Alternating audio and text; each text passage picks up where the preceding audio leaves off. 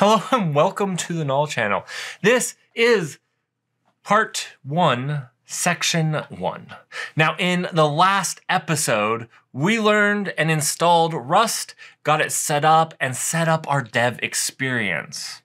Now, let's start learning about variables and functions in Rust. Last episode, I kind of slapped this if statement in our main function here, but this is really not that helpful. So let's go ahead and just delete it. Oh yeah, we're going to just jump into the code today. And you know what? We'll probably do that pretty much every day. So you better pull up Visual Studio Code before starting these videos. Feel free to pause and rewind any time that you need. I think you will learn the most by participating with me and doing these alongside. There are four basic tasks that every language supports, and they're really your day-to-day -day drivers. That's variable assignment and access, as well as creating and calling functions. Yeah, I just kind of boiled your job down into four very repetitive tasks. You're welcome. All right, as you may have guessed, main here is the entry point to our application. This is the function that gets called when the OS starts your application. We're going to cover more on functions in just a little bit in this lesson, but this is our entry point. This is where your application begins. Everything starts here. First things first, let's figure out how to assign variables. All the cool kids are doing it. As Rust is a statically typed language, it is type safe and type information is known at compile time. This means that when a variable is created, it is of that type and that type for the entire scope of its life. Simple case, we want to store some data. Now remember that in Rust, it does matter if something is created on the stack or heap. But we're not going to worry about that right now. Just know that these primitives that we're talking about right now, the integers, are created on the stack. Just remember that the stack is fast, but its values uh, have to be of constant size. But we're going to talk more on that, more on memory in another lesson. Don't worry, I know that memory and memory management can be scary, but it's really not that bad. And I'm going to keep bringing it up in little bits so that it can you know, slowly sink in and you're gonna realize it's really not that hard. Anyways, let's get back into the code. Let's go ahead and make a variable. We're gonna just go ahead and do let number equal five. This is really not that bad. Let is the keyword that says we're going to assign a new variable. We named our variable number and we assigned it to the number five. So this isn't really that useful. If we run this, it's actually going to print out the exact same thing. And again, Rust is awesome and it's gonna tell you this is unused. This is a warning. This could be a bug. If you planned on using this variable, it's not used. So let's fix it. Let's, let's use the variable. Print line, the number is number. All right, let's break this down. Okay, so let's let's run this and see what it does. Cool. We got rid of the warning because we're now using our variable. It's much more useful now. And you'll see that it printed out the number is five. Many of you will be familiar with this type of annotation, and we're gonna be doing more and more on that because I know a lot of you experienced programmers are thinking right now, what if number is a complex type? How does it print out to the screen? And we'll get into that in just a little bit. Now, a lot of just happened on these two lines, and I'd like to just take a second to step back and walk through exactly what happened on them. When we ran it, you can see we got the number is five. This first line here is assigning the variable uh, number to five. Now, this is really cool. If you're following along and you've used Visual Studio Code like I have, it's already going to tell you the type that number is. If you hover over it, you'll see Visual Studio knows it's an i32, or this is an integer, um, a 32-bit integer. Wow, that's super cool. Now remember, this is not duck typing, it is statically typed. This number cannot be anything else. It must be a number the rest of its life. It's just really important that you don't think that this is duck typing because it absolutely is not and does not share any of the same issues that arise from duck typing. We cannot assign some other variable type to this. It is an I32. Okay, let's jump to the next line. This almost looks like a function, but it's not. It has a name, and it has an open and closed parentheses just like you would expect from a function call. But you'll notice there is this exclamation point, and if you're in an IDE like Visual Studio Code and hover over it, you'll actually see this is from the STD macros. And that exclamation point says it is a macro. This is one of two different types of macros that Rust supports. And Rust has amazing support for macros. It's just absolutely amazing. Now, we're not going to dig too deep into macros today. I just wanted to point it out. I do have a lesson all around macros. And if you stick around to the later parts where we're actually making projects, we're going to be making our own uh, macros. It's gonna be pretty awesome. So let's just make sure that this is working, like this isn't statically there. And uh, let's go ahead and change this number to 10 and run the code again. Beautiful, beautiful. This is fantastic. All right, elephant in the room time. This is an i32, but let's say we really wanted it to be uh, an i64. We wanted it to be a, an unsigned 64-bit integer. Now we have a problem. Now, there's actually two reasons. One, the implicitly typed is failing you, or sometimes it's really good to explicitly type your variables for clarity. I think that that can be very helpful some of the time. So let's explicitly type this as a 64-bit unsigned integer. All you would do is Visual Studio Code is showing you how to do it. You type colon U64. This is now a unsigned 64-bit integer because we want to store a lot of data in there. Okay, so don't take my word for it. Let's run it and make sure this works. You see this worked just as we expected the other ones to work. This is fantastic. Now you might be thinking, what else can we do here? But let's take a quick segue about primitives really quickly. You have the usual suspects here. For integers, you get signed and unsigned uh, 8 to 128 bits, as well as the standard isize and usize that are architecture specific. Let's not dive too far into primitives. It really has all of the usuals you expect to find with bools, chars, and floats. It also has a tuple container primitive, and that's actually pretty cool, although it can also be abused. Um, but we're gonna use all of them in the future while programming. So let's get back to our little app right now.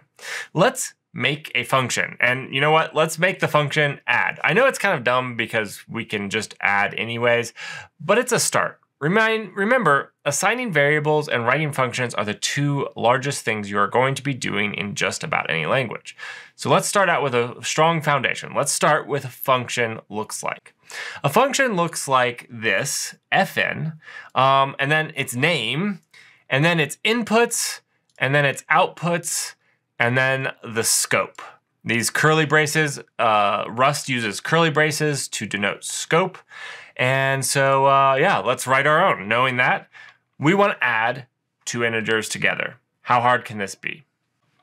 fn, we'll call it add to just be original. Open braces.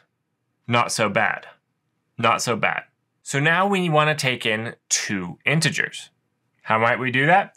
Let's say this is integer 1, and it's of a i32, and this is a number 2, and it's of an i32. So this is the name, so we could come up with a better name for this. This could be X and this could be Y, if it was a coordinate system, whatever you want to name your variables. Um, I'm going to stick with number two. I'm just going to make it explicit, nice and easy. Number one. All right, now we need to decide what we want to return. In this, we're going to just return another I-32. All right, so let's return an I-32. You do a little arrow. I don't know why they picked the arrow. This is probably one of my biggest pet peeves. Why do I need an arrow? Why can't I just write it here? I don't know. You need an arrow. And we want to give it an I32. Cool. And now we need those curly braces to denote the scope of our function. Open curly brace, and there we have it. Now, if we go ahead and run this, check this out. Well, it couldn't compile this. It expected you to return an I32, but we return nothing. And Visual Studio Code is telling us the same thing.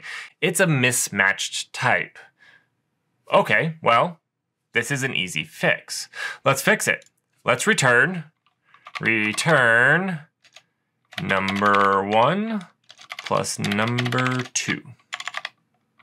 Oh, let me spell return correctly. All right. Now, super cool here. Let's go ahead and run our little program, see if it compiles. And this time it compiles. We do get a warning that says ads not being used. Well, we'll, we'll fix that in just a little bit. Now, I want to pull your attention back to this. I said that every single line has to end with a semicolon, and that's not quite true. We could rewrite this whole thing. Let's, uh, I'm just gonna copy it and paste it really quickly.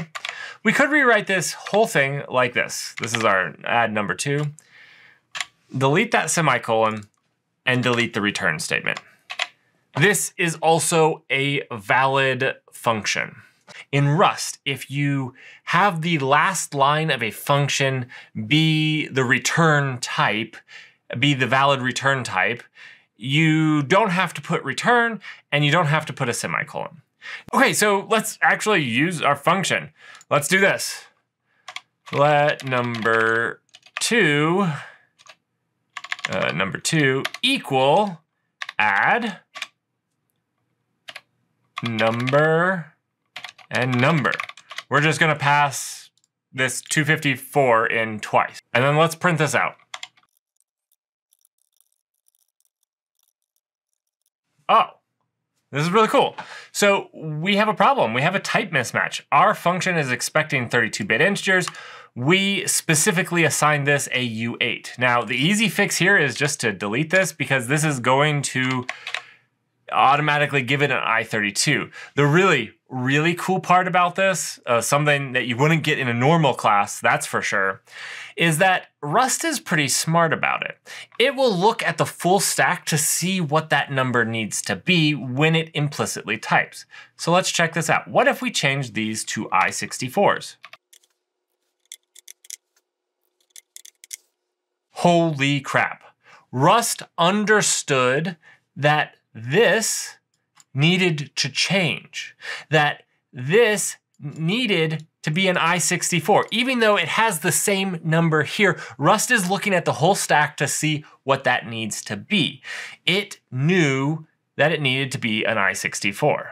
Again, this isn't duck typing. This is the static compiler being really smart. So we just saw the type safety being uh, tested, and we got to see the implicitly the powers of the implicitly typed uh, variables. Again, we can just change these back to i32s, and you're going to see Rust implicitly retype it because it knows what it needs to be. This is super powerful. Now, I have one last thing that we need to touch base with before this lesson is up. Right here, we added these numbers together, and that's cool. And we assigned this number to this. But what if we wanted to change this number? What if our logic mandated that we change this number? Can we do that? Well, let's give it a try. We'll say number equals 567, or 5,667. All right, cool. Uh-oh. Rust didn't like it very much. Let's see what uh, Visual Studio says. Value assigned to number is never read. Maybe it's overwritten before read. This is a little weird. And we can get into why you might get this error, but let's check the next error message. Cannot assign twice to immutable variable number. This is the crux of the issue. Now, I actually have a whole lesson on mutability because as soon as you start getting into memory management, I I find that it helps people to re-go over mutability as well, just because you added more complexity in. But what this means here is if we want to do this, and if we want to then print this out, new, new number, like this, This is just not going to work. But if you want it to work, you have to do this. Now this number is mutable. And this makes a whole lot more sense when you understand the structure of memory and how it's working in memory, but don't worry about it right now. You don't have to worry about it. All you have to know is if you want something to be mutable, you're gonna have to make it mutable. Let's go ahead and run this and see how it works. Beautiful. Now I'm gonna throw in some other examples in the Git repo. So go check this code out if you're a little confused. Go ahead and check it out. It's there for all of you to see and use and experiment with it. So go for it. But now that we have a function, you know what we should do with it? What we should try to do the entire class as we do new things? We should test it. It's going to be something we dig more into throughout the entire series. We're going to be touching base on testing and how we test our Rust code and how Rust lends itself to being test. So if you want to learn more about testing and you want to know more about Rust, Join me in the next lesson as we'll write some tests for our code and learn the ins and outs of testing in Rust. It will be just as in-depth as this video. We're gonna dive into random little niche things and hopefully you come out understanding how to make really great uh, tests, uh, to make sure that your documentation is tested properly, uh, the examples in your documentation, to making sure that everything is linted properly, and making sure that unit tests run in an orderly fashion.